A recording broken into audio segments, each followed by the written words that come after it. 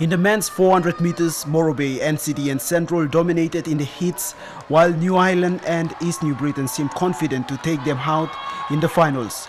Sandaun Province performed extremely well in the women's 400 meters, with a good number of athletes qualifying for the finals.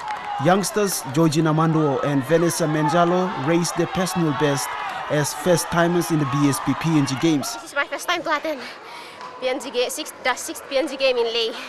Me proud look I'm second.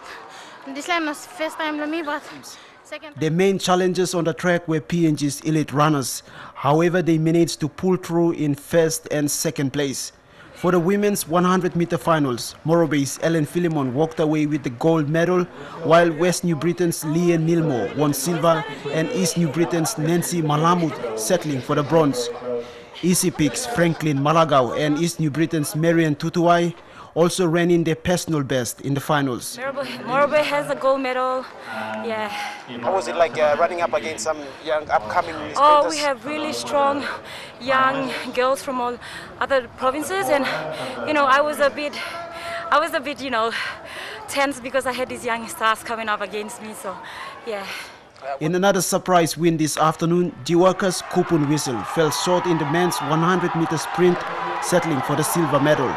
NCD's Razi Lee Marai ran in a couple of seconds earlier to scoop the gold medal, while East New Britain's Joe Matmat took out the bronze medal. It was also a good finish for Peak youngster Vanna Kalin, who ended his race on fifth place among the PNG elite runners. Nam yogi megim through lo first is hits then second nam yogim through lo semis nam kalo finals so whether me no come second or third or one me, just one below me at least me yogi lo Field events also saw a stiff competition in the men's long jump, javelin and shot put.